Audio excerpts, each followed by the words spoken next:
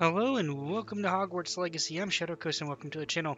In this video, we are going to outline how to unlock this treasure vault, which is kind of to the south of the Lower Hogsfield Hamlet. Um, we have a little kind of ruined spider lair and ruin here. And then when we walk up here, you can see um, that's the ruin. You walk up here, we have the treasure vault in there. So I'm going to outline how to unlock it real quick. Pork lump juice you can grab. So this one's a little more complicated. We're going to Accio this one over, and then we're going to Levioso it.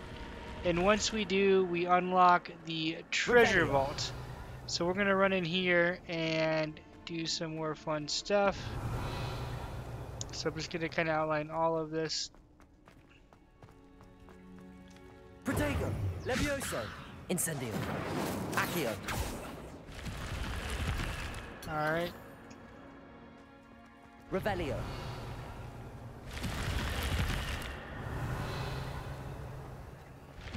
and you just run up to it. So that is how the vault goes. You might try reloading a few times. Um, each time you loot, it will give you different items. So if you're looking for a specific item, you can definitely save scum. So hopefully you found this video helpful. If you did, drop a thumbs up and hope to see you in future videos. Shadowcoast out.